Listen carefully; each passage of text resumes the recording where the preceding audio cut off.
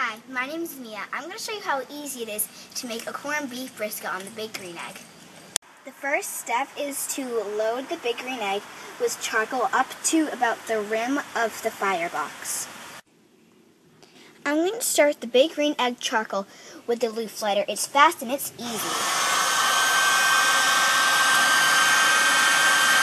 The plate setter is in the egg. Is holding at 250 and we want the meat to get to 190. The first thing we do is we find which way the grain is going and we cut right against it, just like that.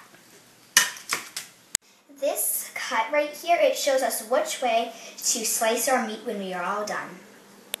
We're going to season this with Dizzy Pig Red Eye Express coffee infused barbecue rub.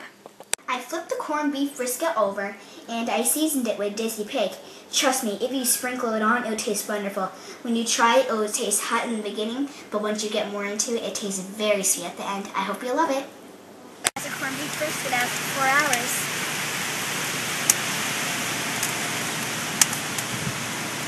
We have to wait a few hours before we eat it. I can't wait to eat it. It looks delicious.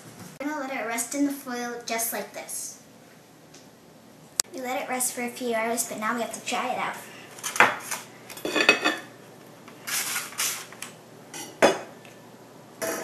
Wow, that is amazing. Thanks for watching. I hope you like it.